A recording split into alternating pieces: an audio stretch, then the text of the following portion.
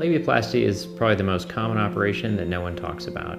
It's something that we do a lot here at Synergy, and it's really a way to rejuvenate tissue that over time, uh, with children and, and weight gain and loss, and, and oftentimes just anatomy that you're born with, um, we can really change the shape of the labia and uh, really help with how clothes fit, uh, exercise, intercourse, and uh, make you really happy with your body. And, and I think that that's what really labiaplasty is all about the idea that we really want to make you happy in clothes and out of clothes. And I think that labiaplasty is a really easy way to address what essentially is just a little bit of loose or excess skin that needs to be tightened. And so it's a, it's a quite simple operation that takes less than an hour to do.